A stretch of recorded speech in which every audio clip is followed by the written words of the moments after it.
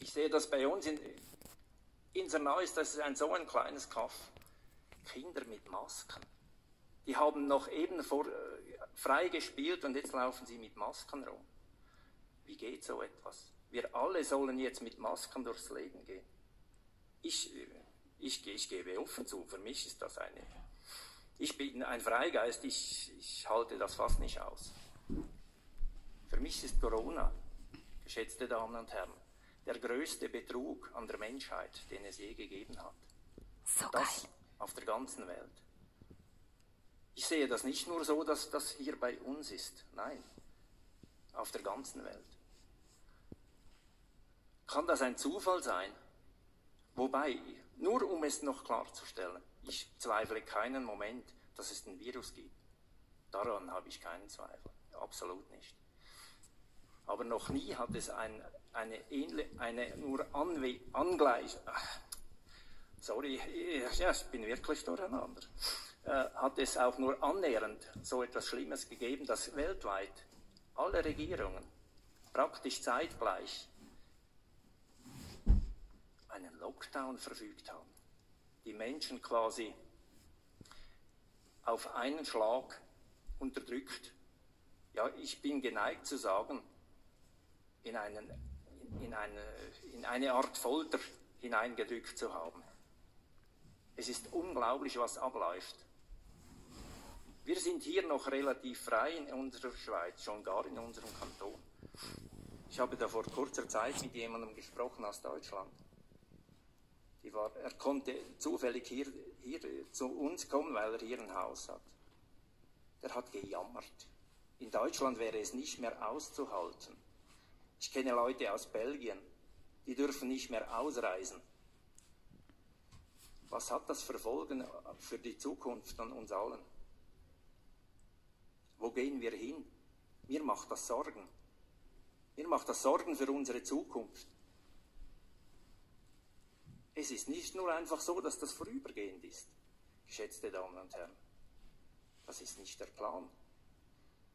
Nach der ersten, zweiten, dritten Welle folgt, die, folgt vermutlich die Dauerwelle.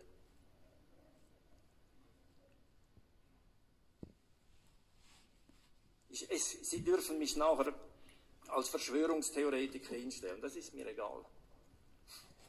Wir sind hier an einem sehr speziellen Ort. Vor, vor, Im Januar 2020 äh, 20, am WEF wurde hier über Corona-19, also über, über Covid-19 diskutiert. Und im März hatten wir einen Lockdown. Ist das nicht etwas speziell?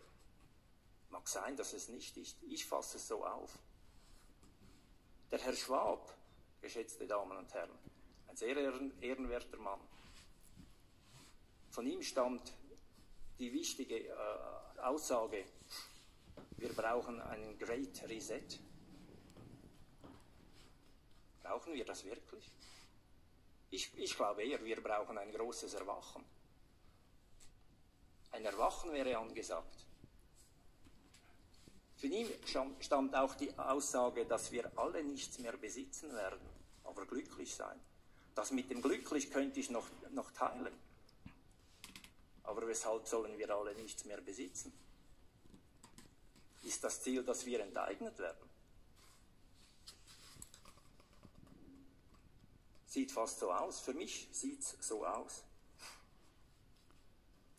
Dann komme ich, ich, ich habe ja gesagt, dass ich etwas durcheinander bin. Es ist etwas zu viel gewesen heute. Nun gut, wir könnten auch mal auf die Schweiz zu sprechen kommen und auf den Bundesrat.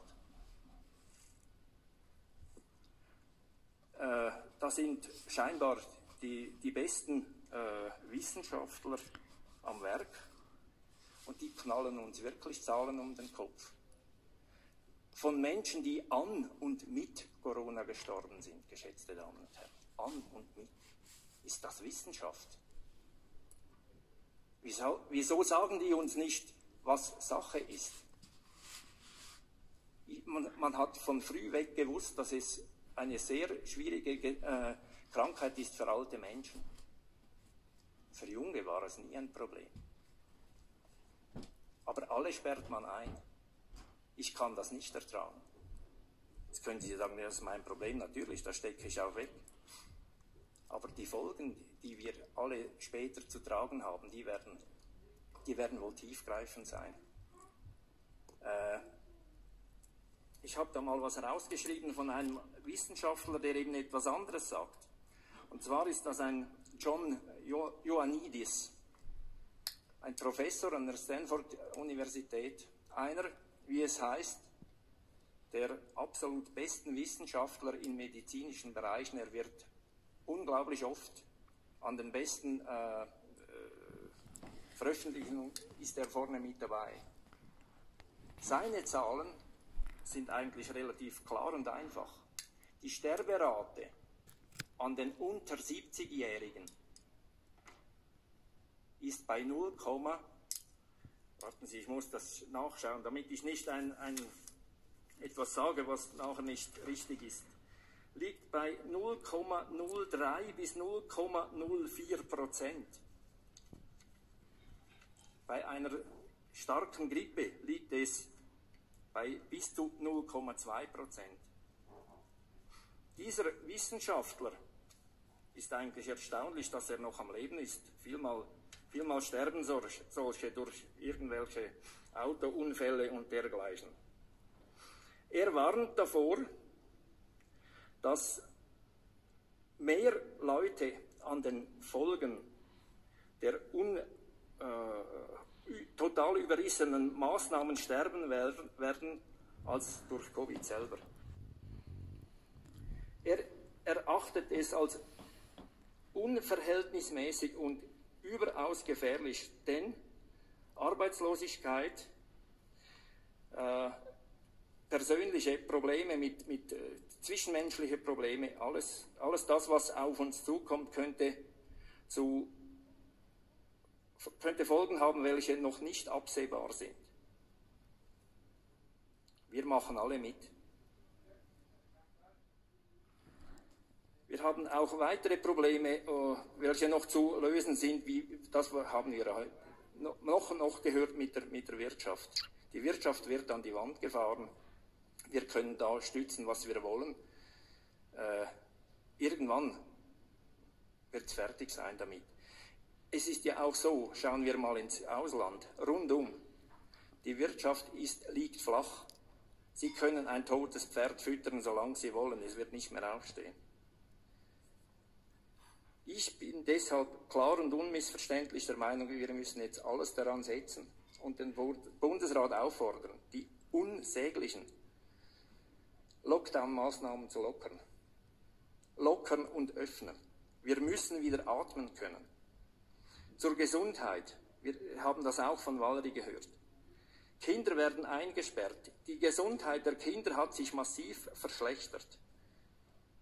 Das hat übrigens auch, ich denke, äh, Regierungsrat Parolini hat uns das auch näher gebracht, dass dadurch, dass kein Sport mehr getrieben werden kann, die, die Kinder äh, vermehrt mit Süßigkeiten und schlechter Ernährung äh, an, an, an äh, Gewicht zugelegt haben. Das ist nicht gut. Sport ist das Fundament für eine gesund, gute Gesundheit und für, die, für eine gesunde Psyche. Großrat Weber, darf ich Sie bitten, zum Schluss zu kommen? Ich, ich versuche es, ja. Gerne. Lassen Sie uns wieder frei sein. Sie haben, es wurde uns innerhalb von weniger als einem Jahr die ganze Freiheit weggenommen. Das ist ein unerträglicher Zustand. Lassen Sie uns statt downlocken wieder frohlocken. Es würde uns allen gut tun.